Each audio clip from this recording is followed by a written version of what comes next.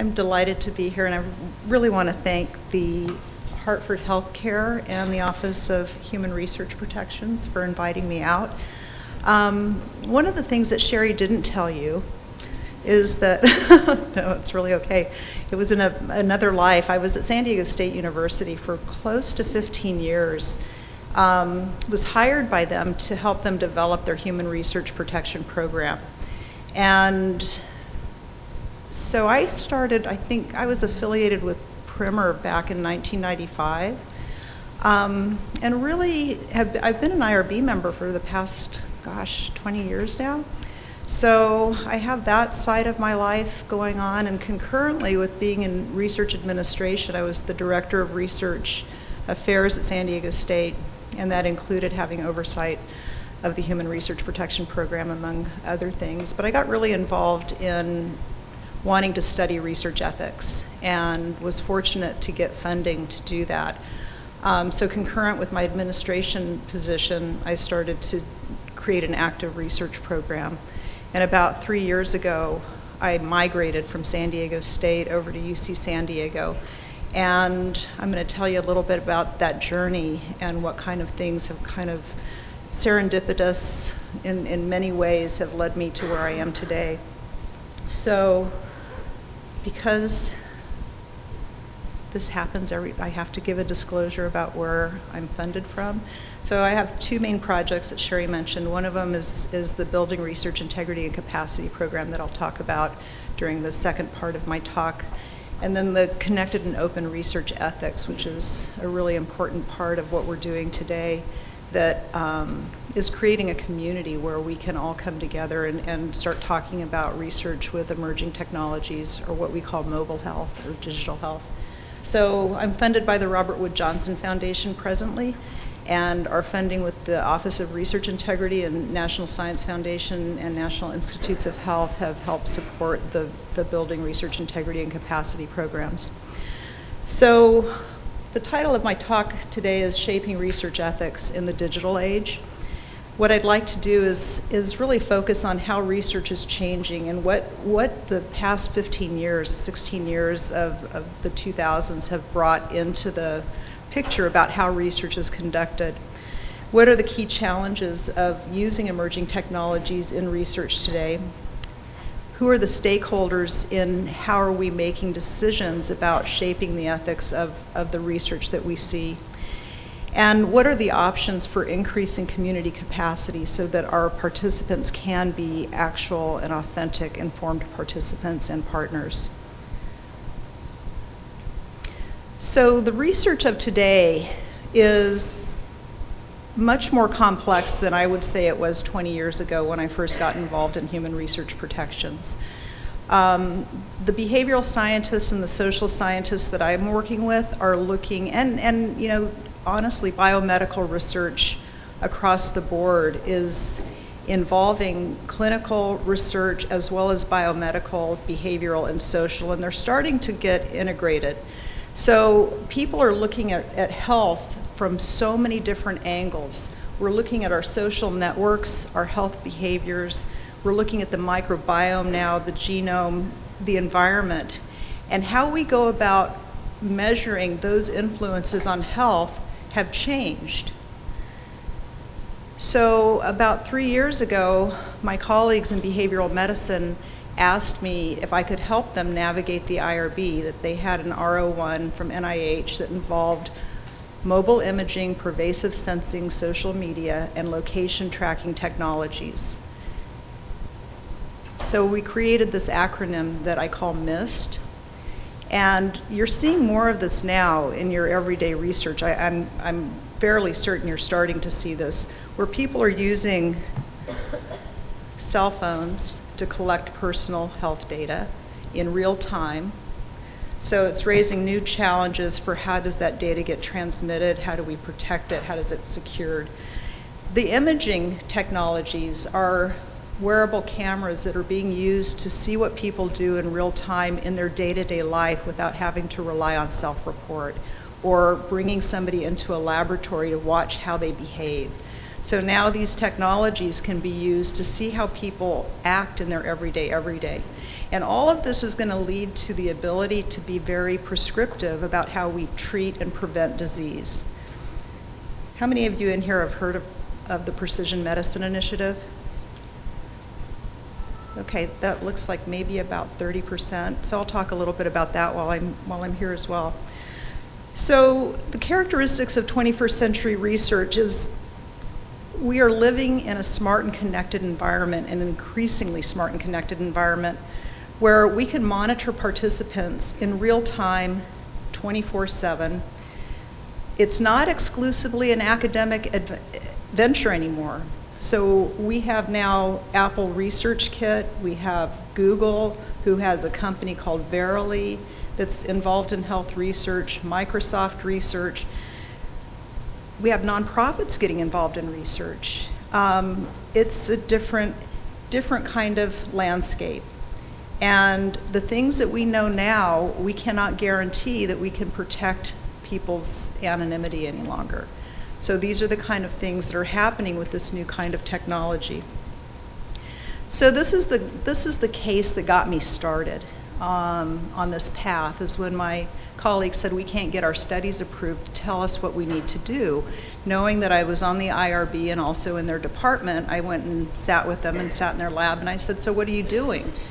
And they said, Well, we want to see what people do in their everyday life. And so we've recruited people. We want to recruit people from Craigslist. We want to have them wear different kinds of sensors so we can see what they're doing. So this case, Brittany is one of the research assistants, and she's wearing a camera around her neck, so it's an outwardly facing camera. Um, she has around her hip an accelerometer and a GPS device that's keeping track of where she is when she's active. She also has accelerometers on both wrists so that they can look to see whether or not accelerometers that are worn on the wrist are measuring things differently than an accelerometer worn on the hip. And I've mentioned this before at, at a PRIM&R meeting, and this is one of the things that they learned is that when you are riding a bike, the accelerometer thinks you're sitting down. So it's not accurately measuring movement and activity. So this, is, this was a study to see whether or not these devices could objectively measure everyday behavior so that they didn't have to rely on self-report. So you can kind of see, and this is an observation study, they just wanted to see would this work. But the IRB had a problem with it and the problem had to do with the wearable camera. I'll just ask you real quick. So, has anybody noticed that I'm wearing a wearable camera? How many of you in here would have wanted me to disclose that before I started talking? So, there's some consent concerns, right? So, you guys, I'm the human subject, let's just say. I'm, this, I'm the participant in the research and I've agreed to wear this. You can't really tell that it's a camera, can you? And it doesn't make noise when it takes pictures, but it's telling the researcher an awful lot about that person and how they move through their life, where they are when they're active, what it looks like. And you happen to be the byproduct or bycatch. So, under what circumstances should you have the right to consent to be in my research record? So this is a new kind of challenge. It's not one that's insurmountable, it's something that we can deal with, but it was a challenge at the time that it went through the IRB and it caused delays. So these are the delays that happen when things are introduced to us as IRB people that are not familiar, and also the reason that things take a long time. And one of the reasons that I received funding from the Robert Wood Johnson Foundation is that they have so many concerns about new technologies being used in research and their grantees cannot get approval to start their work. So they said if you could help us bridge that gap, we need we need solutions. We don't, you know, we know that these things are new and different. Let's figure out how to help IRBs so that they can work better with these kind of technologies. So there were, this is not on, by the way. I'm not taking anybody's picture. This is just a prop so you can kind of get a sense of what, what kind of things we're talking about and thinking about. So you're here in a public room. What if I was coming to your house for dinner? What if I'm going to work? What if I'm in a meeting? What if I'm going to the clinic? So there's all these different places where there's different kinds of considerations that we need to think about. But we also need to think about them and be consistent so that we don't create inconsistency across all the IRBs that are st starting to struggle with how do we do this. So social media is also introducing a lot of new opportunities for health research. So Runkeeper has tons of data that researchers are using to learn about how people are active or inactive. We have all kinds of uh, opportunities through Amazon, through Twitter, Facebook. So people are using Facebook and Twitter not only to recruit participants, but to actually conduct interventions. And they can also analyze this kind of data which, you know, much of it is public data and available to any one of us. We can download data right now from Twitter and it's geotagged and we can start figuring out what people are doing. I just uh, gave Dr. Pritchard an article that my co-investigator wrote that identifies, he can identify HIV hotspots based on people's tweets. So this could be really important health information, but it's also really important that we think about what's private, what isn't, and how do we handle that kind of information because most of the people that are tweeting aren't thinking about these things when they set their settings. They kind of go on this autopilot and don't realize that this data is public. So, or maybe they do. We, we really don't know the answers to this. This is a sensor that a colleague of mine in bioengineering has created. This is about the size, a little bit bigger than a postage stamp, it's sitting on somebody's skin right now, so that's skin. And it, you can see it has an uh, ECG sensor, it has temperature sensors, it has a wireless power core, coil, it does EEG, photo detectors, wireless antenna, wireless communication. He's using this to monitor fetal heart rate and contractions remotely so that they can let the mom know when she actually needs to come to the hospital instead of having somebody come to the hospital and be sent home and back and forth or being stuck in a bed with, with the big belt and, and having only that as an option for monitoring health behavior. So, so there's a lot of really interesting new things. These commercial products that we've seen over the past three years, these didn't exist when I first started down this pathway. So Fitbit didn't exist. And now we have all of these commercial products that are being used as research tools. How many of you in here have looked at a study that involves a Fitbit device? Whoa, okay, there's a lot of you in here. So there's new, new challenges that are introduced when we're using commercial products as research tools because there's a terms and conditions document that has to be agreed to in order to participate in the studies. Fitbit has a workaround, so you don't actually have to accept the terms and conditions, but those are new kinds of things that actually con conflict with the federal regulations. So new things to think about with the commercial products. This is just an example of the different kind of data that's collected. So in the GPS, you can see somebody that's been traveling up and down across the California-Mexico border. Um, you can see a, a, an example of an image that the camera takes. This is a person that's in an office building, so you can see that that, you know, it's kind of a, a fisheye lens. Social media data, just the volume and granularity. What's interesting about a lot of this data is it's not protected health information. It's not being collected as part of a patient's activity or being put in an electronic health record. But it is sensitive health information. So how do we store it? What are the standards? What should they be? So the kind of questions we're asking and the things that we're interested in looking at are how do we obtain informed consent? How can we make sure that the people who are participating in the studies actually understand what kind of data is being collected about them? Do they understand what real time is? Do they understand what storing in the cloud means? We want to know about how to evaluate the probability and magnitude of harm so that we can help IRBs understand how to think about these things. We want to know what the rights of bystanders should be. We don't know a lot. We have a framework actually that we've just recently validated and published in Translational Behavioral Medicine that gives some guidance on how you can think about bystanders who are captured by a camera and under what circumstances you can consent them, you know, and again, then you are actually putting more burden possibly on a research participant to have to be thinking about all of these things. And then data management, as I just mentioned, a lot of the data that we're collecting isn't covered by HIPAA. So under what circumstances should you have standards in place and know what those standards are? And all of this is happening at a time where the landscape is even getting more complicated. So we have the NPRM that's still kind of out there. We have the quantified self movement. How many of you in here have heard of the quantified self movement?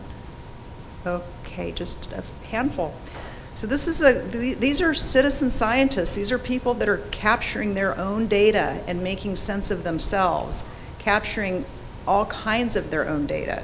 And they are a movement and are growing and they're, they're their own scientists. And so, what do we do with that? Um, the Precision Medicine Initiative is starting up in January. Um, they've just released the names, I guess it was just last week, of, of the different centers who are going to be involved in capturing data, enrolling a million people, enrolling a million people that somebody may not have direct contact with during the consent process. So times are changing, and I think what we need to really pay attention to is that we need to change with the times and be nimble and be thoughtful. But how do we go about doing that? This just came out in the paper yesterday, and I just thought it would be interesting to, to add it. So, Science 37 is, is a technology enabled clinical research company that is planning to bring clinical trials to people's homes. So they are kind of reimagining what a clinical trial looks like, how people will have access to it. And I would love for you guys to go and look at their site. I just glanced at it, but it doesn't really, it, it sounds like a good thing. It could easily lead to this, um, what is that called? Let me think. Um, oh, it'll come to me in a minute. Just the idea, though, it, it's not real obvious that this is experimental. Therapeutic misconception. That's what I was thinking of. It's, it's not going to be real obvious to people that this isn't going to be something that helps them. So th- these are the kind of things that I don't even know who Science 37 is, but it's a new way of doing business. So we really wanted to start looking at how do we make sense of what's going on. So one of the studies that we did, I call it the iWatch Exit Survey. So you saw Brittany all wired up with these different gadgets. They enrolled 280 some odd people in that study. By the time we decided to find out what those participants experienced, we were able to recruit 82 of them to complete an exit survey. And we asked them about their experiences. We asked them about whether or not the informed consent process and content reflected their experience. We asked them if they, you know, what their major complaints were, if any. We asked them about their preferences for privacy. We asked them about whether or not looking at the images, like they were allowed to look at the images that they captured on their camera. That's about 30,000 images. Um, we wanted to know whether or not that control over their data mattered. We wanted to know if the transparency was important to them. We also wanted to know if whether coaching them on how to respond to somebody who asked about the camera while they were wearing it was useful. So that's a paper that we just published in Translational Behavioral Medicine, and what we learned is that the informed consent process was exactly what they anticipated. Some people thought the images were blurrier than expected, others thought they were more clear people's interactions with them. Some people said this is really creepy. Other people said that's really cool. You know, so let me know if you want to see the paper because I think it, it's really a good starting point for engaging participants in the process of assessing risk and not having us imagine it for them because I worry about us overprotecting people and not giving them the option of getting into research studies that probably would be kind of fun and interesting for them. The participants really enjoyed their, their involvement in the study. What I found interesting is that they rated themselves as very, very private. I'm like, who does that while they're wearing a camera? So then we wanted to see about, um, we, in San Diego, it's a really diverse, culturally diverse community. We wanted to see whether or not that mattered, you know, whether people in diverse communities thought about these kind of technologies differently. And so we've done some like little small studies with the Latino population who worry about the GPS tracking, they worry about their legal status. Um, we talked with people in the Native Hawaiian Pacific Islander community who again had concerns about being tracked passively. Um, we also went to the refugee Somali community in San Diego, and this was an interesting one because they had agreed to wear an accelerometer, which is not, you know, really a new device. It just it's been around for a while, but it was something that the investigator asked them to wear it around their wrist. They were in a physical activity and nutrition study, and they explained it. They showed them pictures of it. They said, This is what it does, this is what the data looks like, and, and the women agreed to participate. And when the investigator went back to get the devices to download the data, there was no data. There was no data. And they did not wear their devices, even though they said, yeah, absolutely going to wear it, no problem. But they didn't wear it. So they didn't wear it because it was something that they had to wear around their wrist. It caused unwanted attention. It conflicted with their culture in that they pray five times a day and they have, have to wash their hands, and so they had to take things off. They said, if you had just given us a waist worn, we would have worn it, no problem. But something happened in that translation, and, and so these kind of things are important for us to be paying attention to and really engaging people in the process of designing these studies. I also was so fortunate to have Anthony Magit involved. Um, he's one of our advisors on the core project. He's the director of the Human Research Protection Program at, at UC San Diego, and I told him I really want to understand how the IRBs are thinking about this. And we have five IRBs at UC San Diego. And so I instead of asking the IRB if I could look at their records, I went to the investigators who were using these kind of technologies and I said, Can I see your protocols? And eight of the, of the investigators shared their entire protocol with me. So I could look at what they were doing, what they submitted to the IRB, what the IRB said back to them, what they said back to the IRB, how that, you know, the back and forth went. And in one institution with five IRBs, four different IRBs reviewed these studies and found different things to be concerned about, different ways of managing risks, different, sometimes completely ignoring things that another committee said absolutely not.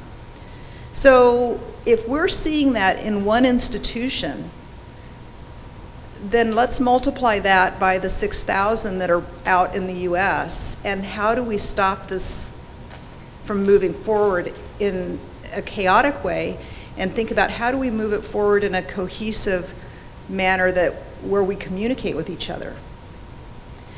So the last piece of this is the ecosystem. What's happening? I'm seeing it at UC San Diego. Is it happening anywhere else? So we did a search through the NIH reporter using keywords that have come up and that our group kind of generated to find out what's happening in the mobile health ecosystem. Who's doing this kind of research? Who's funding this kind of research? Where is it happening? And so we've just, we're just finishing writing this paper. This is a speck of dust still. This is like 1% of the NIH budget, but it's grown 1,200% in the last 10 years. And it's grown, it's, it's continuing to grow. So we're going to continue to see this kind of research and we need to get ahead of it. So that's what we're trying to do. We um, had focus groups last year at the PRIM&R meeting and four focus groups with people who were IRB administrators, analysts, directors, members, chairs, leadership, PRIM&R board of directors, um, so we analyzed that data and we found that people were concerned about capacity overload. They couldn't keep up with the volume that they have already. How are they supposed to keep up with this new emerging kind of research? They didn't feel like they had the expertise. They didn't want to be inconsistent. So they were worried about that. They don't have the evidence that they need to make decisions, and they're not familiar with these technologies, and they're concerned that their IT person isn't going to be available every time they need to go and ask a question. So those are problems that we started to ask the questions to other people. We've not only been interviewing and doing focus groups with IRBs, but also with scientists that are using these tools.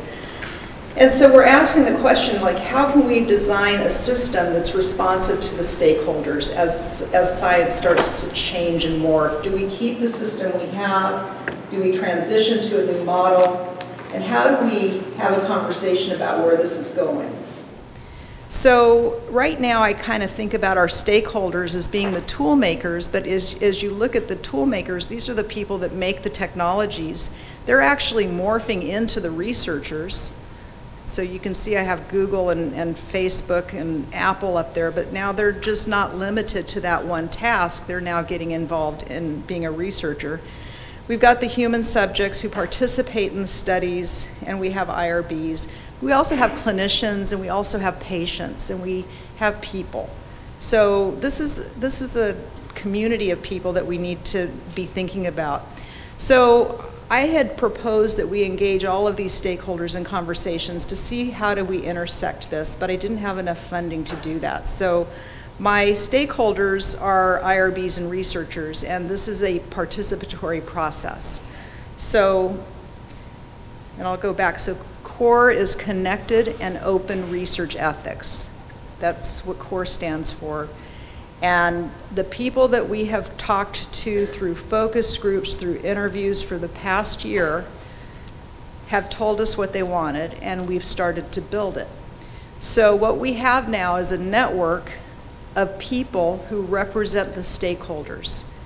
Almost 200 people now, and we have not really started to advertise. So the only reason I'm talking to you about it is that we're now ready for you to come join this community and help become active participants in moving it forward. Up until this point, we've been building and beta testing, testing and reiterating, and now we think we've got a pretty good program in place. We also have a Q&A forum, and I was talking to Elisa Hurley, who's the executive director of PRIM&R, who's also on our steering committee. She said, how is this different than the IRB forum? I said, that's a great question. First of all, we only are focusing on MIST technologies, mobile imaging, pervasive sensing, social media, and location tracking. And we're not here just for the IRB people. We're here for all stakeholders to come together so that we can answer questions that we don't know the answers to yet. So if you're doing a study and you don't really know how to handle the data, I would like a privacy person or a security person to come in and say, you need to be thinking of these things. So that's the community that we're building. If we have a researcher who's used location tracking and has language that they've used that has been a really useful tool in their consent form, people get what they're explaining, they share that information in the resource library. Our resource library now has protocol language that has intellectual property redacted, but it has protocol language talking about risks, talking about data management. We have con consent language. All of these entries are tagged so that you can easily find what you're looking for. Um, but the Q&A forum is a place where you can go ask questions. And one of the things Elizabeth Buchanan told me when she was trying to create something like this for internet research is she said the biggest mistake was that we didn't create the option to be anonymous. And so if you have questions and you're not confident about having your name out there, you click I want to be anonymous. That way you can put out, you can ask questions and not feel like you're embarrassing your institution or yourself. You just show up and ask questions. And, and I would have shown you these, but I'm not sure. I, I, don't know if I could have linked to this because I think their Wi-Fi might not be working here. So this is what the network looks like. This is 50% researchers at this point in time, 35% IRB people, and then we have people who identify as ethical, social, legal, ELSI people, we have people who are identifying as regulators, um, patients. We have yeah, it's, it's like a really cool group of people that are now, and I don't know a lot of them, which is even more fun because I thought I'm on the bandwagon going out to get people to show up, and now I'm getting people to, I've got people in the UK, in Australia, in Canada. So this is becoming a global network, and I would really like you to show up and be a part of it. So take a picture of this, and I have cards for you for later. But this tells you how you can sign up for the network, what's on the platform. It has information about if you want to tweet about whether you like it or not. Um, all of that is there for you. And, okay, I just heard that. Oh no, I didn't get my camera out in time. um, and again, I do have cards, and I'll, I'll be here. So, one of the things we want to do, though, is we need to bring participants into the conversation. We need to get feedback from participants if this, you know, does the consent language, is it meaningful to you? Do you like what it's saying? Do you get it? So we need to start engaging participants in the process of our conversation. So I'm going to bridge the core project that I've just explained and, and why we did what we did and where we are with a program that I've been working on for gosh, close to 15 years called Building Research Integrity and Capacity. So this is a program about community engagement and community education. And I want you to think in your mind, just reflect on what does a researcher look like to you? Who are the PIs that you work with? Well, if you're working in biomedical science, you probably don't think of these bench scientists, but most people think of somebody working in a lab when they think about what is a researcher. These actually happen to be my colleagues over at UC San Diego. They're real people. And these are the researchers that I work with in San Diego. And they're community health workers. In San Diego, they go by Promotora. And about two, in, in 2000 when the federal government came out with requirements for training key personnel in human research protections, we did a program for our graduate students and we did it for our faculty and we really tailored it to behavioral and social sciences because that's what we did. And the investigators in public health came up to me and they said, but you know, so many of our researchers are monolingual Spanish speakers who have about an eighth grade education and whatever you create for graduate students and faculty is going to be lost on this group, even if you translate it. So we were fortunate to be able to get funding from the National Institutes of Health, um, Heart, Lung, and Blood, to create a program that was tailored for community health workers. And just for some background about who these people are, how many of you have, in here have heard of community health workers? Oh, awesome. So they're called different things depending on where you are in the country, where you are globally. There's, they go by close to 150 names that I've seen through the World Health Organization who's published papers on, on the role of community health workers in global health. But in the US, it is becoming a very important way for research to happen in communities. And so they go by these different names. Patient Navigator is really popular in San Diego, um, Research Promotora, Community Health Advisor, Outreach Educators, and the American Public Health Association has a dedicated section for community health workers. Many states are starting to certify them, and they can actually be paid through the Affordable Care Act now, which is creating some tensions within the community because many of them don't have a, a, bachelor's degree and they don't do it because of their education, they do it because of their love for the community. And so they have become such an important part of reaching hard to reach populations where health disparities are most prevalent that they are now helping to shape the design of studies, especially with community-based participatory research momentum gaining steam and community engaged research, is that they do they help people who are researchers they tell them, We have a problem with asthma. Our kids are getting sick. Why is that?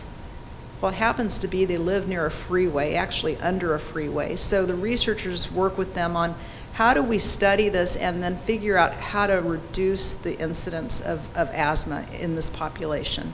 So they co design the research, they implement the research, they disseminate results, and then they apply these findings in practice. What they have in common is that they don't have any formal research training, and when we got involved with promotoras, what we learned is because they don't know what research is, they do things that compromise the protocol inadvertently. They may be asked to deliver a dose of something. The dose could be a cooking class, the dose could be an exercise intervention, and they don't realize that they're part of a study because the PIs don't think they need to know. One of our focus groups, we learned that PI meant practically invisible. So it's kind of telling you there's a disconnect on the team, right? So we've been focusing a lot of our efforts on training promotoras, but I'm now moving over to training PIs. Because if they don't know what their people know and don't know, what's the quality of the data, right? We're making a lot of important decisions about public health based on data that may be compromised because the promotora didn't get training that they needed. And it's not malicious research misconduct. It's inadvertently changing a protocol because they think what they're doing is going to better serve their community. And Paul Appelbaum looked at this in the clinical setting. He found the same thing that clinical nurses did in clinical trial protocols. When they saw their patient's care was potentially compromised, they would change up the protocol. But in this case, you know, the promotors really didn't know that they were part of a research study, and sometimes they can't really tell the difference between service delivery and research activity because the, the intervention looks like education, right? So recently, the C3 report came out, and it's the first report on community health workers. It's been published since 1998. And for the first time, it said that the community health workers need to have training in research methods how to, how to design and implement program evaluation. And there's a lot of movement on how to create professional training for community health workers. Most of the training up until this point has been very disease specific. Okay, we're hiring you or you're volunteering to deliver an intervention that focuses on cardiovascular disease. Here's what that is, here's what you're doing, here's so very contained. But now they're saying they're involved in research, and this is not new. Promotors have been involved in research for 30 years. It's just now that they're being recognized as an important part of that team that needs training. And I'm pretty happy about that because we're way ahead in that we've created the curriculum that would meet that need.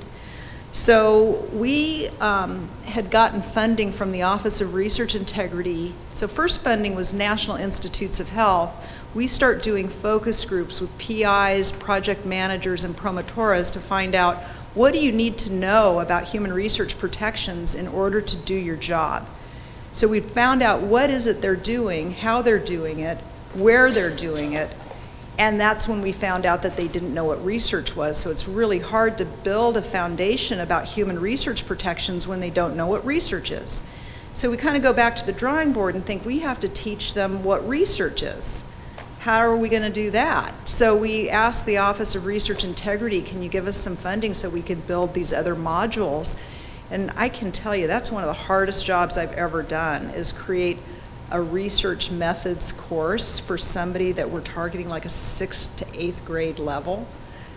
Um, you know, typically when you're in college, you go through an entire semester in research methods, and you know that that's probably one of the more challenging courses. But we were able to to get this, you know, to a point where we're talking about what is research, what is health services, what's a research design, what is a variable, what are these things? I mean, so we have five modules in our amazing curriculum that focuses on building that foundation. And then we have modules on the rest of it. But the point of this is, is I, I, had Office of Research Integrity money, I built these modules, we had NIH money, we built these modules, and they were existing in two different places and not very visible. And so I went back to the Office of Research Integrity a couple years ago and I said, we have these really amazing programs that are over here and over here because of different funding sources.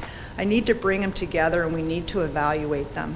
So I went back out to the, to the researchers and I said, are your promotoras still doing this kind of work or are they doing something different? How should we assess their research capacity? And then we wanted to measure whether or not our BRIC program worked in increasing their knowledge about research. So this is what it looks like. And I brought a copy in case anybody wants to see. This is a really cool book. It has pretty pages.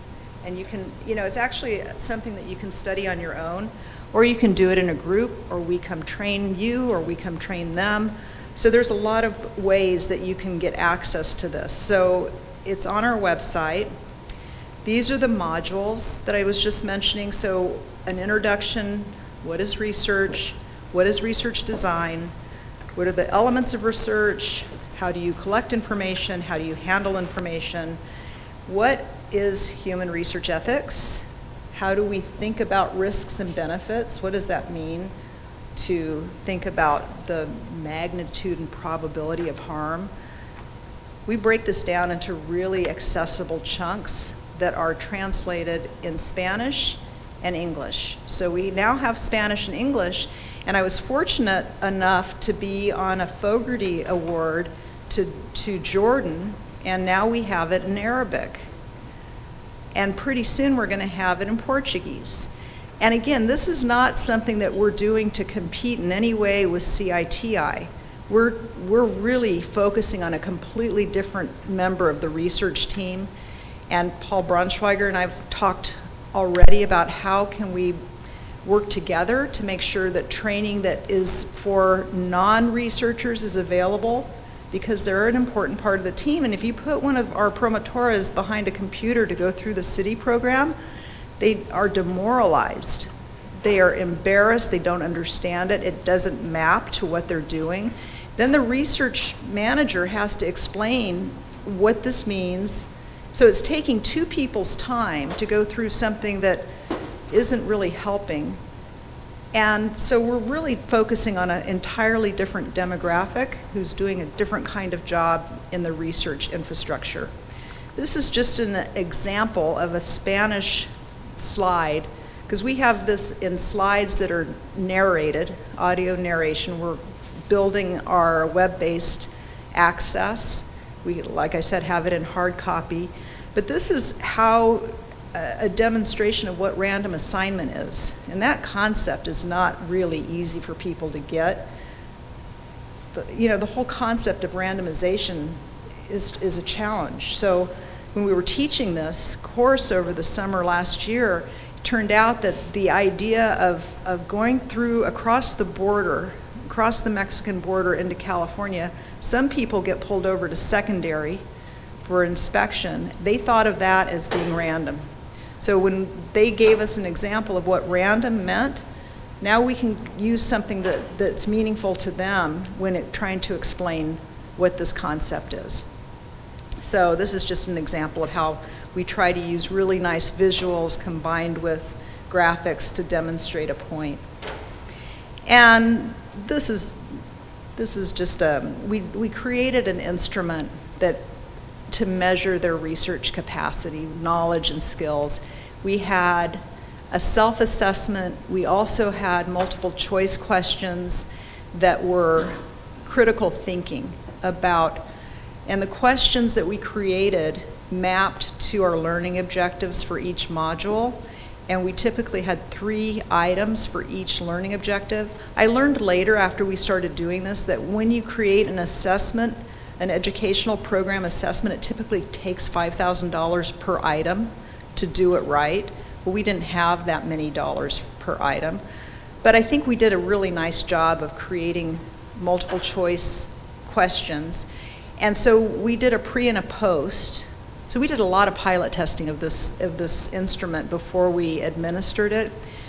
And we did a pre-post, and we found out that even though we randomly assigned people to the control group or to our experimental group, the control group ended up having more research knowledge than our experimental group at the get-go.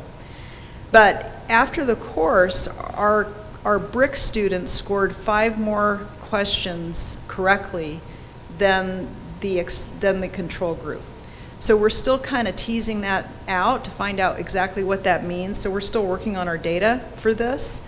Um, but the assessment, like I said, it, it's looking at research competencies, their knowledge, and we use com community examples that are contextualized. And we've tested this now not only with Latinos, but with Native Hawaiian Pacific Islanders and with, um, a, gosh, a group of 250 California folks that were hired to help implement a $50 million randomized controlled trial with special needs youth. So the program hired 250 people that had no research background to implement a program and uh, so we got we had the opportunity to train a lot of different people and this is all we do when we when we adapt our curriculum is we just use examples and scenarios that, that resonate with that group's culture, their experiences. So these are some of the early adopters that we've um, engaged in working with the BRIC program. So Department of Rehabilitation, again, that's the $50 million one in California, but it's about 265 million across the U.S., so they have many different states involved in this this study, and again, it's special needs youth with the idea that if they have a certain type of intervention, they may become independent, autonomous, employed people.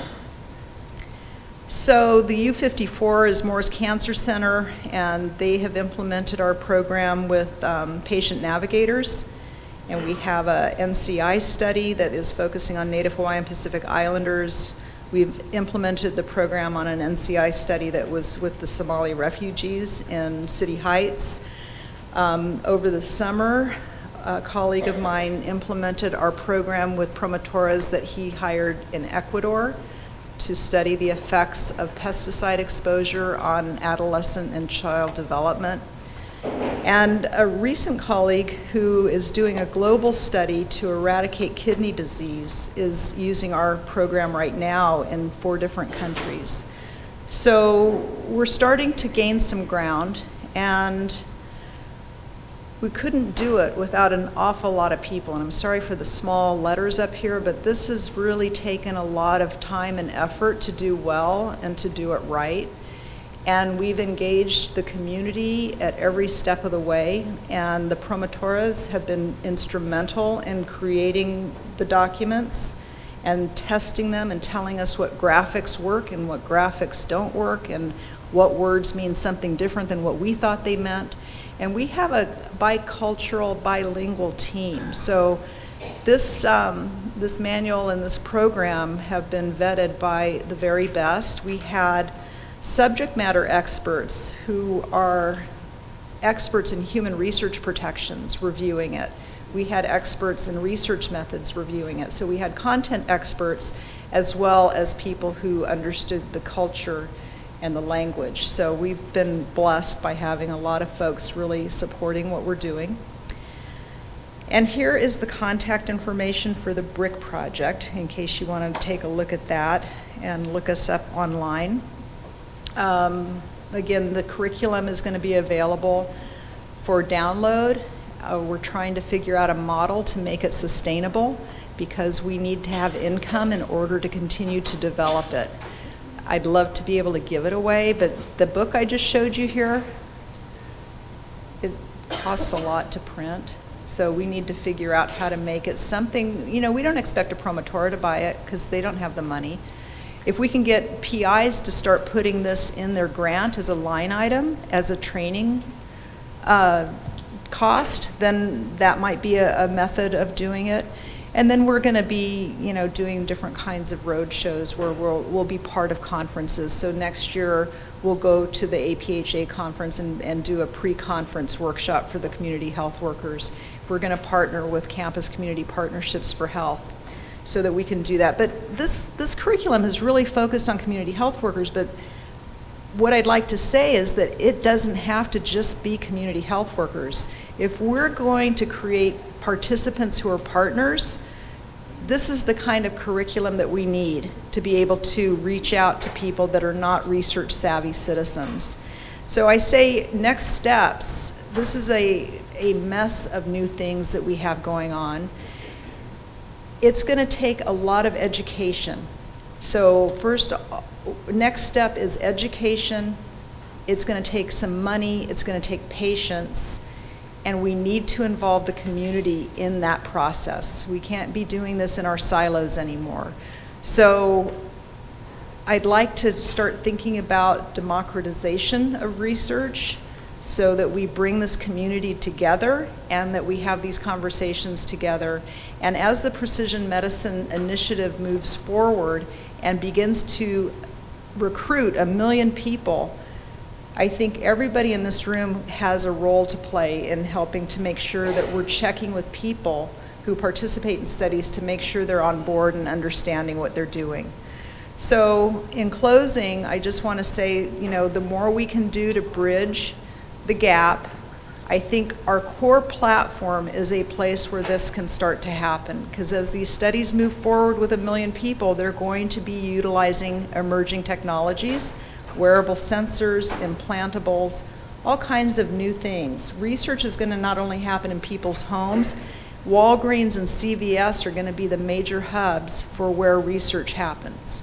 So um, with that, I would just like to thank you all for listening to me, and I'll be around the rest of the day and, and for most of tomorrow. So I do hope to talk with you one on one, and if you have any questions, I think I have a few minutes right now.